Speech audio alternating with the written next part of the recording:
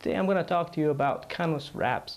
There's a couple of ways to do canvas printing. They can be just printed out, just a piece, and then you, you can roll it up and use a few different ways to, to display it, to, to frame it. Uh, what I have in front of me is a uh, canvas wrap that's actually put on a wooden stretcher. It's laid out on a on wooden frame.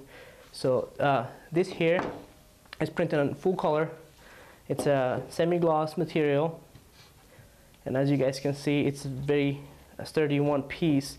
That's because this canvas is wrapped on a wooden frame, which is behind it.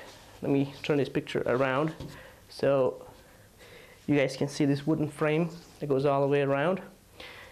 And canvas wraps are great for, for your home, for your office, for your family portraits, for, for just about anywhere. Um, you, you can add additional frame to it if you want, or you can just hang it as, as a piece alone. It's still going to look great. So uh, the, the, one more thing, the, the canvas wrap that I have right here in front of me, I just want to point out that this thickness, the, the border, the wood, uh, this one here is 0.75 inch. Uh, we're no longer carrying this model. We have uh, discontinued carrying it now. What we're uh, offering is thicker. It's an uh, inch and a half, so it's about twice the width, which is even better, more durable, and just looks much nicer too.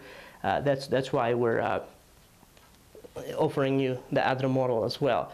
If you don't like the frame, you can always uh, get canvas without the frame, just a piece of canvas. It actually uh, comes a lot less too. So. Um, that's it for uh, canvas frames. Thanks for watching.